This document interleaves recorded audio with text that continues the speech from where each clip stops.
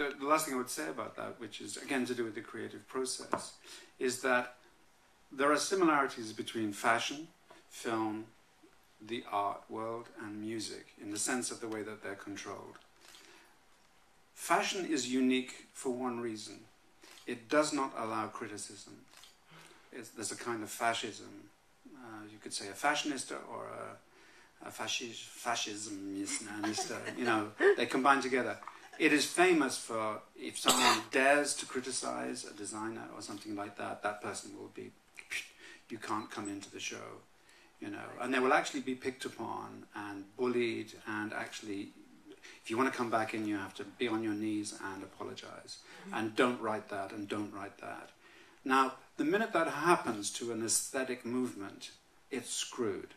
Because without either self irony or outside criticism, you cannot flourish because you have no um, concept of where you are. So, and that makes it different from, from every other industry. And the reason for that, of course, is that it has so much money involved. And literally, we're talking about $20 billion a year, more, whatever it is. You know, I read statistics all the time. It's a lot of money. And, and you kind of think this is all about beauty, aesthetic, women, men, children. And yet, actually, the thing that's screwing it is the amount of money that's behind it, the ugly side of fashion. I have no interest in the ugly side of fashion.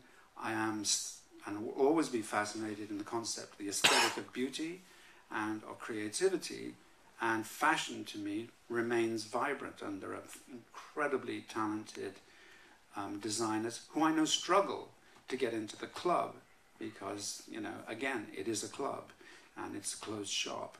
And so, um, in a way to close the conversation, I'll say one of the reasons I work with Diane Pernet and her foundation is because she is starting something interesting, which is a way of highlighting through, let's say, the use of film, because now, of course, film has become very important for fashion because of the internet.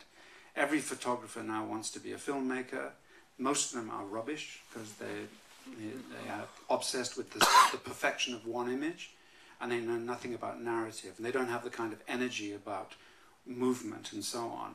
And ironically, I now get asked to help fashion photographers make films, and I think, fuck you.